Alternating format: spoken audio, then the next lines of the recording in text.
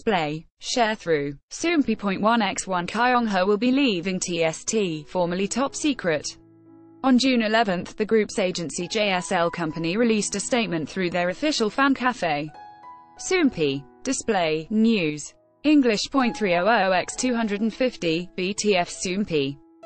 Mobile. English .300x250, ATF The announcement reads, the TST members are very mentally exhausted and having a difficult time currently due to the halt of their promotions.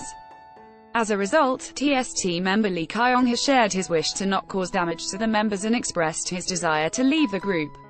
The agency explains, JSL Company, the TST members, and Lee Kyung have had thorough discussions since this respecting his opinion to focus on revealing the truth that is different from what is known to the world. The decision has carefully been made for Lee Kyung-ha to leave the team.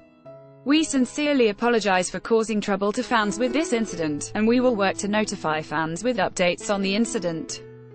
JSL Company and TST will work to give back to the fans who always show support and love with better music and activities.